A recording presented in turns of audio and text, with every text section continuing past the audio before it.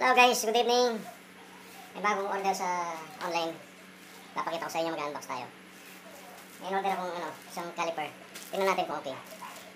So, buksan natin. Tapos yung isa, yung isang order ko, isang, isang welding machine na makita. Meron siyang free ah, cable and yung dalawang cable. ah, ground at saka yung welding, ano. Meron siyang welding handle. So, yun ang ano niya. So, unahin muna natin ito. Yung caliper. So, buksan natin. Try natin.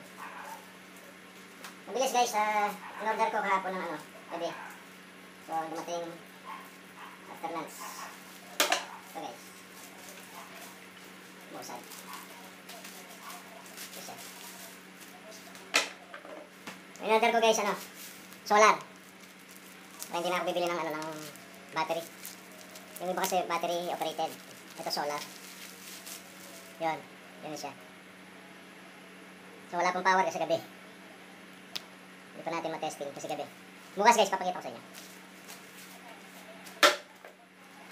Ito siya. Oh, ano? Ah. Hindi?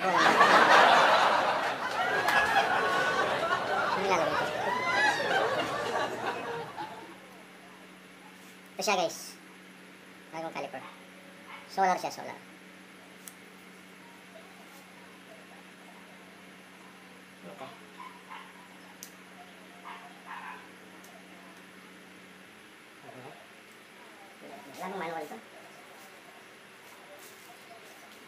Gamitin guys. Dito. Portal. Faces should be cleaned gently with alcohol or other cleaners. Never use other organic solution. And never clean caliper by immersing it in any liquid. Wow. So bukas na lang guys, pag-aaralin muna natin ngayong gabi.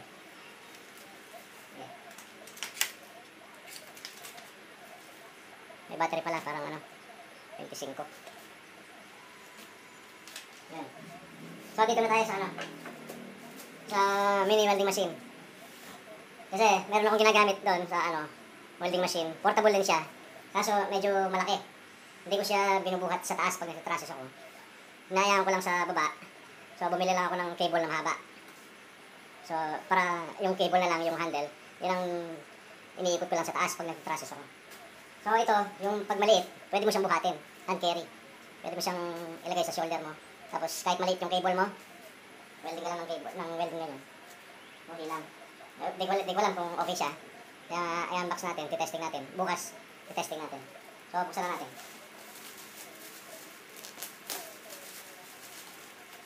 Plastic.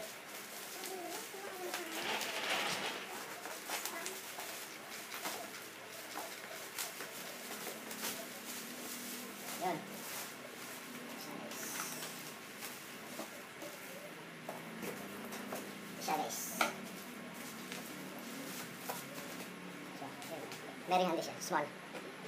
Small, strong. Totoo kaya to? Strong. Ano siya guys? Doon sa ano, doon sa picture, sa ano, makita siya eh. Makita. Pero ngayon hindi ko makita. makita. Ayun. Ayun. Malabo pala ito. Makita. Wala man ang ito. Anong made ba siya? Wala, hindi natin makita. Makita ang model pero di makita. tunay kaya, tunay. Ito yung free na sinasabi. Yung cable ground. Cable ground niya. Ito, here. Cable ground. Meron na siyang ah, ano tawag dito? Connector. Naka, ano na, connect na, connected na. Isasaksak mo lang sa welding. Mamaya papakita ko sa inyo. Tapos, ito yung handle. Yung handle niya. Ganda, matigas pa. Matigas pa yung spring. Pasensya na, sir, ah, ma- ah, guys. Kung medyo madilim. Gabi na. Gabi na tayo nag-unbox. Yun. Matigas pa kasi bago. Which is, kung matigas, ganyan, mas maganda. Kaya ipitin ng welding rod. Hindi siya alog-alog. So, ito na yung machine. So, yun o. Ganyan siya kaliit. Ganyan siya handy. Yan. Liit lang ah. Isang ano lang. Siguro mga nasa 12 inches lang to. Isang ano lang, isang tangkal. Yan. Yan guys, sa mga nag-uumpisa pa ng ano, kung paano mag-welding. Ito yung ano, yung yung handle cord niya. Yung handle kung saan nilalagay yung welding rod. So, isasaksak mo lang dito siya. Meron siyang meron siyang parang gatla dito siya. Meron siya. Meron siyang parang bukol. So, susuksok mo lang dito. So, meron namang instruction dito. Kaso, malabo lang. Meron siyang ground and handle.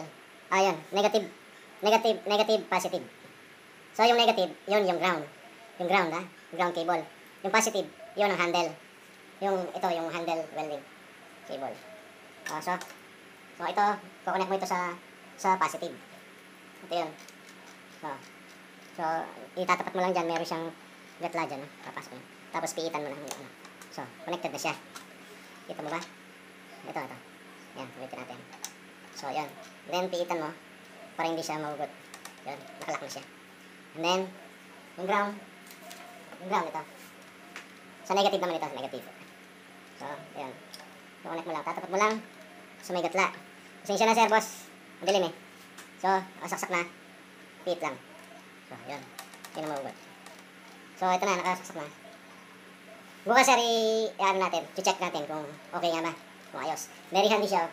Meron pa siyang handle na ano, na parang tela. Ito siya. So, i-connect mo, itatali mo dito. Pwede mo siyang gawing shoulder, shoulder bag. Lagyan mo sa balikat mo habang nag-welding ka. Ganun. Okay, mga boss. Baka niyo bukas, bukas. Papakita ko sa inyo kung okay talaga pag welding. Ha? Sige, boss. Bye. Bye muna. Hello guys, may nakalimutan ba ako? Dami kong, dami kong pinakita sa inyo kanina. Pa, pa, kung paano ang pagsaksak ng mga cable. So, tanggalin muna natin ha. May nakalimutan ako sabihin sa inyo. Pakita. Ito dito sa likod. Ayan yung fan niya, meron siya fan. Para hindi siya ah, madaling uminit. Pero ang ano dito boss, ang tendency nito, kaya ma- maliit, pero hindi mo dapat na gawing pang cutting. Hindi dapat pang cutting ito, pang spot lang. Yung spot. Kasi maliit siya. Ang cutting kasi pagka-cutting, pagka-cutting ng welding sa mga bakal, madaling uminit yung machine. So, wag, hindi, bawal, bawal yun. Masisira talaga agad yung, ano nyo, yung machine nyo. Lalo na dito sa ganito, ganito kaliit. Sabog ito, sunog. Spot-spot lang. So, nakalimutan kong, ano pala, ito pala yung ano, pag-deliver, hindi siya talaga nakakonect agad yung ano niya. Yung 220 ah, output niya. Yung saksakan niya. So, buti nakita ko agad. Tinignan ko naman, kala ko wala. Nandito pala. Nasa ilalim. Ito siya. So, i-connect lang ito. Dito. Yun. Tapos connect sa outlet. Ang gandahan nito sa yung maliliit na ganito, pwede kayo sa mga outlet lang. Hindi na kayo kailangan dumirekta doon sa ah, fuse panel. Hindi na kayo kailangan dumirekta doon. Sa mga outlet lang, pwede na to. Tapos, meron pa siyang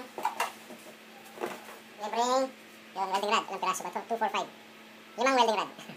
Siguro pang testing lang to. Pang testing lang. So, ayan guys. Ganito muna. Bye. Bukas, papakita ko sa inyo kung paano siya mag-weld. Okay ba siya? O, ganyan ba? O down? Okay, bukas, aban. Thank you, mga boss. So, hi, hello guys. Nagbabalik kayo ng mga kalimuting kaibigan. Ito pala, pinag-aralan ko kanina. Habang nakaupo ako. Ito pala yung ah, solar ah, digital caliper. Nakita ko na kung bakit pala may battery. Pero solar siya, solar. Automatic kailangan talaga may battery. Battery siya kailangan. Pero hindi mo na kailangan i-charge ito. Solar eh, solar. So dito sa, nasa ano siya. Ito nasa ilalim siya. So, yun siya. oh. Yun. So, ah, nandito yung battery. Yan, yan. Yan. Kala ko kanina design lang eh. Pero hindi pala. Mahirap pagutin eh. Yan, yan. Pagutin mo, dapat sabay. Yun. So, yun ah. Yun, yun pala. So, pabaliktad yung ano siya, yung ano niya, battery niya. Yun. Nilalagyan naman, hindi, hindi naman mahihirapan. Sorry, magalaw. Okay. So, ayan, may, meron siyang nakasalo na ganun. Ilalagay mo lang na ganyan. So, ito, tingin ko ito yung positive eh. Tapos ito yung negative, yung may pangalan. So, ilalagay mo lang na ganyan. Yan, yan. Yan. So, then, tingnan mo lang yung ano, yung, ano niya, kung siya sasakto. Tingin ko ganyan yata. Yan. So, medyo ano lang, skip. Oh, hindi siya dapat. Oh, hindi siya naka... Yun. Dapat pala isuksak mo doon. Ito, ito munahin. Yan. So, naka-flat na siya. Yun. And then, baligtad siya, pabaligtad. Sundan mo lang yung ano niya, yung araw niya. Yun. So, yun. Sak na. Hindi pa, hindi pa nakalapat. Wala pa. Mali, mali. Muna natin. Hindi naman pwede yan. Hindi. Yan. Yun siya. Yun. Pumasok. Okay, nakalapat na. Then, oh, yun, may power, no? Ito pala. Baliktad. Yun. So, meron siyang on and off. Ito, ito. Tayo natin. Yun, matay. So, and then, power on. Yan. So, yun. Pag nagsusukat ka, yan. 82. Ano ba to? Ah, millimeter. Millimeter. So, kung may susukatin ko yung daliri. Yun. Ilan ba yun? 126 millimeter. 12.6 millimeter. Sa, ano? Tignan natin sa, yun ba yung inches?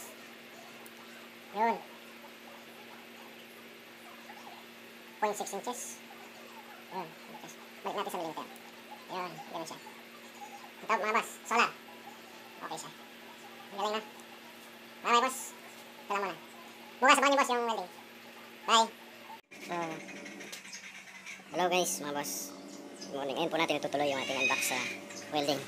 Dito sa mini welding natin. Ito po siya. Guys, ito. Pasensya na boss, hindi ko na nakip, na, naipakita yung ano yung, yung pagsiset ko. Pero normal lang to. Uh, ayan lang. I-set lang yung itong welding, welding handle dito po sa positive. Yung positive. Yung negative is the ground. Ayun yung ground. So, check po natin.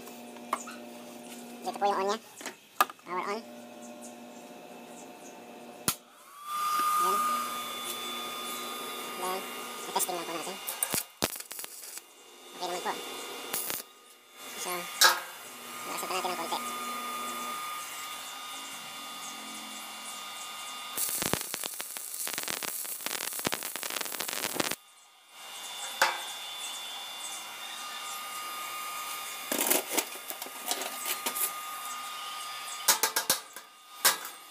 Yes, na.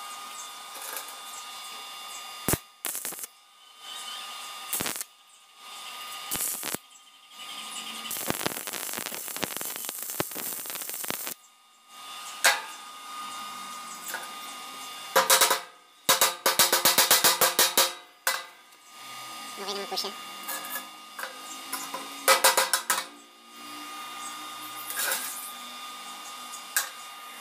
Yan natin ang konti. Malakas.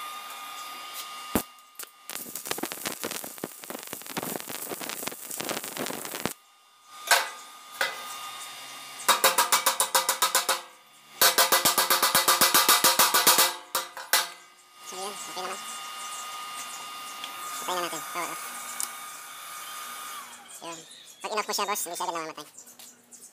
Loko lang po to, sana magtagal. Guys, sa mga gamit, ingat-ingat lang po para magtagal.